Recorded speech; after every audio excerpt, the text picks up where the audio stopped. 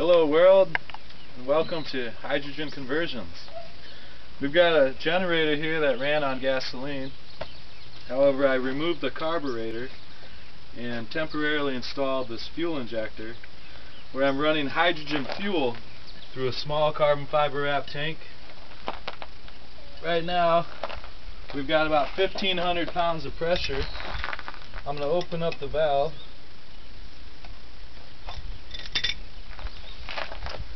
And now we're all ready. Running an engine on hydrogen is really easy to do.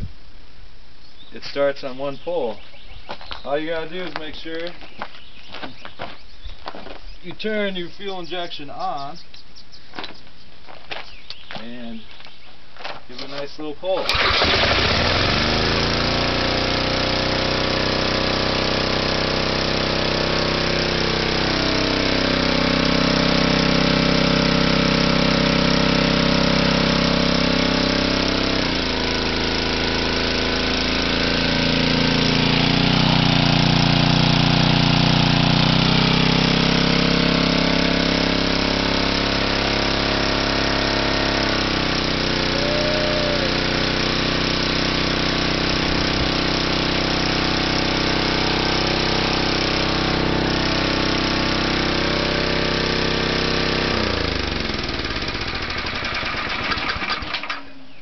And when you're done, you just turn the switch off.